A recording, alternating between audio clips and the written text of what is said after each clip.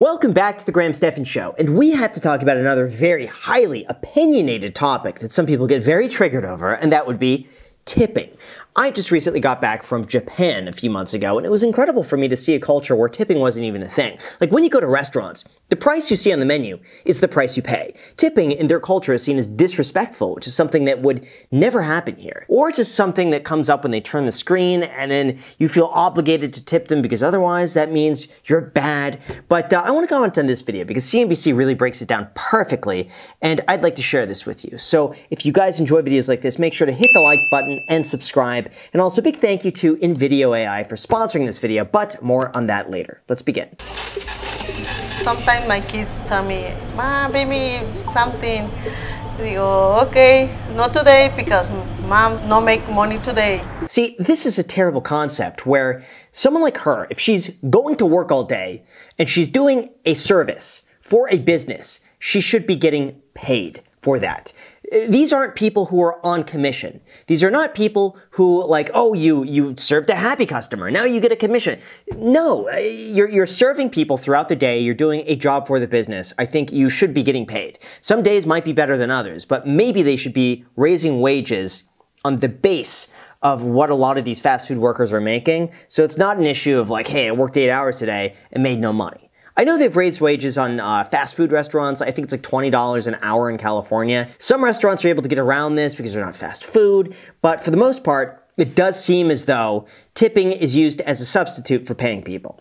While restaurant owners across the country might want to be paying their employees higher wages, some, like the owner of Cisco's here in Austin, Texas, say they just simply can't afford to do so. Yeah, I mean, that's the counter argument, is that a lot of these businesses say, well, if we paid them more money, we would go out of business. We couldn't afford it. We would have to raise prices on our foods, but then we would lose the equivalent amount of business. We couldn't afford rent and utilities and overhead. And, uh, you know, it, it's like this is what we offer. And if the customers can help bridge that gap, then we could still stay in business and that's better for everybody. I think there are arguments for both sides on this one, for the business owner and on the employee making the tips but uh, it's a very difficult industry to be in. Wages across the economy, in the lower third of the economy, have been artificially suppressed for way too long. If you want people to work in these jobs, we have to pay them and not force them to rely on tips. I'll tell you what's going to end up happening is robots. Unfortunately, there's a lot of stuff that is going to be automated, uh, including YouTube videos, by the way. I know it sounds silly. We'll talk about this a little later, but I find it remarkable at how easy it is to be able to AI voices, AI videos, all this sort of stuff. And even in Japan, I know I bring up Japan a lot in this one, okay? But there were several restaurants in Japan where you would go and just there'd be an iPad on there, and you just type in the food that you want on the iPad, and a little robot will like go and bring it to you. They're cute looking, and I've even seen this in sushi restaurants where you know there's there's obviously a chef behind the counter, and someone's there, uh, you know, just to make sure everything's running smoothly. But for the most part, like all the servers are just robots mind blowing. I could see us going in that direction in the future. The percentage you're tapping on that tablet might not just be a thank you, great job, but instead, what brings that worker to making minimum wage? A tip should be what a tip was always meant to be a small amount on top, a gratuity. Is there a way that they could just incorporate that into the bill? Like just a 20% surcharge that automatically goes to the server? And then, then I know it's not technically a tip anymore.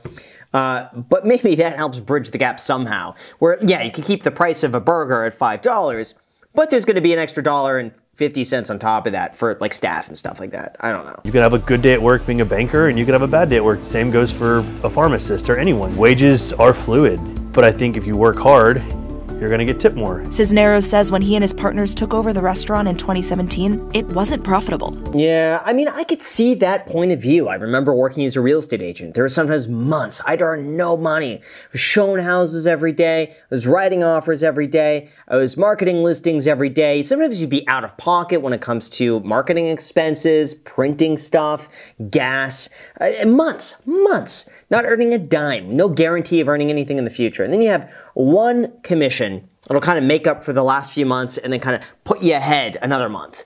And then you, you go through the same thing again.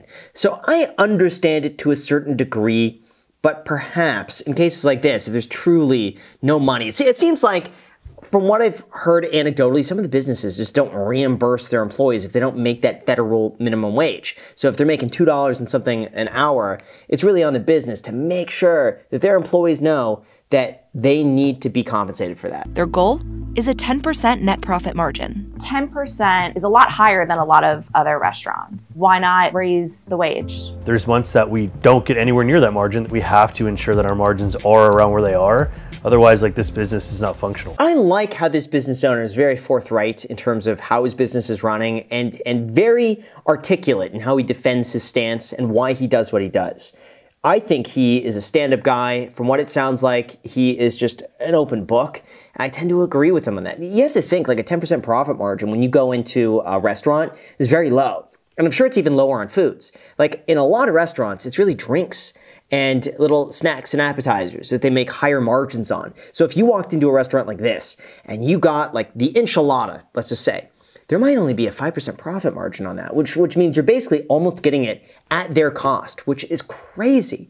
And then the drinks might be, you know, 50% profit margin. So it really just depends on what you get, but food alone usually is very low. As of 2023, only seven states have eliminated the subminimum wage. You know, this really reminds me that there are a lot of different careers out there that will eventually be replaced or upgraded by artificial intelligence. Like even with these YouTube videos, most people don't see all the research, script writing, filming, post-production, editing, description, title and thumbnail planning, and analysis that goes into each and every video I post multiple times a week. But thankfully our sponsor, InVideo AI, is there to help. For those unaware, they can take any video idea and help you create a publish-ready video in your own voice with just text-based prompts and editing. For example, let's just say I want to create a video on how to buy a house in 2024 to be posted on YouTube in an educational tone for someone starting out with no money. From there, InVideo AI will create an engaging script, find high-quality relevant footage, add subtitles, include a human-sounding voiceover, and within minutes, you'll get to see the first cut of your video. Lastly, never underestimate the power of negotiation. You can even give it simple text commands to make any changes. So if there's something you don't like, no problem. Just ask to change it. If you don't like the intro, ask to start the video in a different way. If you don't like a particular moment of B-roll, you could quickly edit that out with something else. Now, what's even more remarkable is that you could upload a simple 30-second clip of your voice, giving InVideo AI permission to clone it, and then your voice can be used throughout your other projects. Like, this is completely AI right now, and it's incredible. So if you're interested in checking it out, you can get started for free and create up to four videos a week. But if you'd like to clone your voice and create videos without a watermark, then I'd highly recommend choosing the paid plan that starts as low as $20 a month. This also saves you hundreds of dollars that you'd otherwise have to spend on editing tools and stock footage subscriptions since they have that automatically covered. Feel free to check it out today by using the link down below in the description or by scanning the QR code on the screen right here. Enjoy. Thanks so much, and now let's get back to the video. These states actually have the same, or in many cases, higher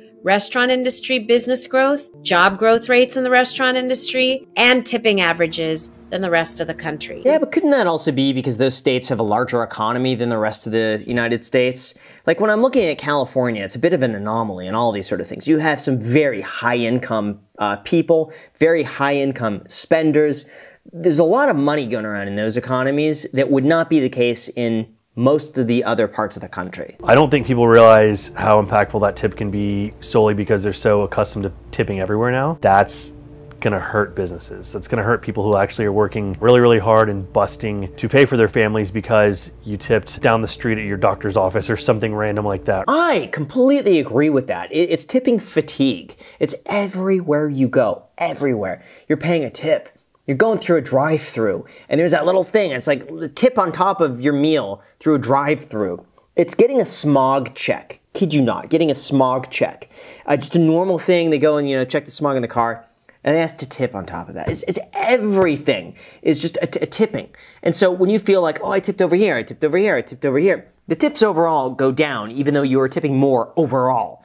And for people that really rely on those tips, yeah, it's gonna hurt them. When Adam Orman and his partner Fiore Tedesco opened this place in 2016, paying just the minimum wage wasn't an option. A 20% hospitality charge is included on every check. Yeah, see, I'm wondering why more restaurants don't do that. It just seems like a very easy thing to do across the board. Make it 18 to 20% mandatory. And, you know, just good service is a part of that. I don't get how like I would gladly do that. If just every restaurant just across the board, hey, I'm slapping an 18% on this. That's the tip. That is what it is. If you want to do more than that, fantastic, but this is going to be the minimum. It's a part of the bill. uh, why not? I'd be for it. I wouldn't be able to live here with a child. It's not dependable, depending on how busy it's going to be that day and if there's weather involved and how much business you have. You just don't make any money that day, and then it gets subsidized by your other days. That's a great way to look at it, too. I never thought how weather dependent some of these careers would be. Like if it's raining or snowing or really hot outside, that might affect how much you make in a day, which is, uh, you know, not ideal for, for people working this many hours this consistently. Our margins are extremely thin. Labor is the one that we've chosen to spend more on. Food is the one that's hardest for us to wrangle, and those are the ones that we can't get around. That's very risky, though. I mean, that's the, the downside of this is that, from my perspective, they're not operating with a large enough margin to weather anything that happens to them. I mean, they're one slip up away from losing a lot of money on this. That's the risk I see. So, you know, I would be almost in favor of them making a little more money just if that meant that they'd have a buffer if something were to come up that they could stay afloat. We've gotten feedback, people thinking that it's sneaky, uh, people thinking that we are going behind their back to charge them for something that they didn't consent to. Yeah, it's when it's not the norm though, a lot of people are going to make assumptions like that. You know, I, I kind of get it from the consumer standpoint. Like a lot of these things are not black and white, and I see both perspectives. It, it, takes some getting used to when you walk in a place and it's normalized just to tip what you want to based on the service versus it's a mandatory thing that they're baking in no matter what if you want to eat there. And if you don't look at that, it's kind of sneaky. Like I've seen quite a few times where uh, restaurants will say if you if you have a party of, of six or more, a 20% gratuity is automatically included. I think that's fine. But there's sometimes where uh, you know you don't know if it's included, it doesn't like explicitly say it on the menu, and then you get the bill and you tip on top of that without realizing that the tip was already included, and then you look at it and be like, oh my gosh, I just tipped like 40%.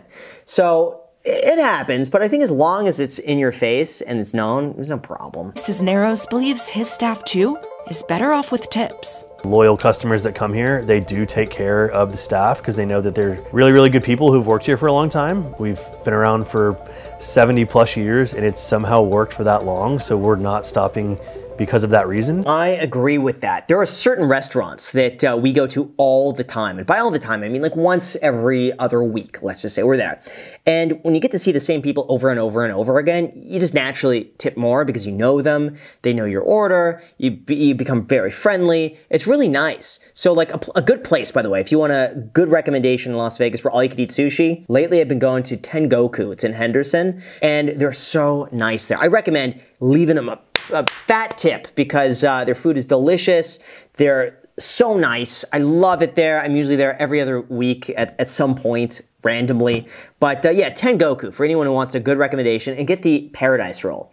Uh, that's my favorite. Tell them, tell them I sent you, um, which would be kind of cool. But yeah, leave a good tip because they're fantastic, and um, I agree when he says that. Those opposed to raising the minimum wage argue it would cause employers to cut the number of hours each employee works to compensate, and consequently, have them actually making less. They're also worried a raise will eliminate jobs. Mm, yeah, I can kind of see it. I can kind of see it. You know, a lot of this is like theory where you don't really know what's going to happen and every situation is going to be different. I'm sure in some situations, raise the minimum wage, the entire place goes out of business. Other places, raise the minimum wage, uh, they do just as well and everyone makes more money. And, and the customer ultimately ends up paying for that, but they're okay with it because they keep going. I think it really depends. Every location is different. Every restaurant is different. Some, some restaurants are just like at the line where it's better for them to pay less and operate on tips than to pay more and just cease to exist. I don't think there's a one size fits all approach. Unfortunately, as much as people would like there to be a solution, I don't know if there's an easy solution on this. According to advocates, if the tipped minimum wage was raised to $15, the price of food would only increase by 25 cents a day for the average American household. They believe the benefits will outweigh the 25 cent increase. Yeah, I have no idea how they calculated that. I mean, if that's the case, if it's just 25 cents, I'm sure everyone would be okay with that. But how is it only 25 cents? I feel like it would be so much more than that. Like you have to think like on the average meal, you're tipping at least like five bucks, right? I mean, depending on the cost, obviously, but like minimum $5. So I don't know how that would translate to a 25 cent increase. I don't know. The goal here is to continue to grow but not have to charge people an arm and a leg to come have a really good meal. Continue to support your small businesses, your local businesses, because that's the heart of the city. So let me know what you guys think down below in the comment section. And how about this? As a thank you for making it to the end of the video, there's a $20 bonus for you waiting down below in the description or when you go to acorns.com slash Graham just for the month of April. They're an investment app that rounds up your purchases to the nearest dollar and then invests the differences in your behalf. So if you're interested in signing up and getting a $20 bonus for like three minutes worth of work, that link is down below in the description or go to acorns.com slash Graham. Enjoy. Thank you so much. And until next time.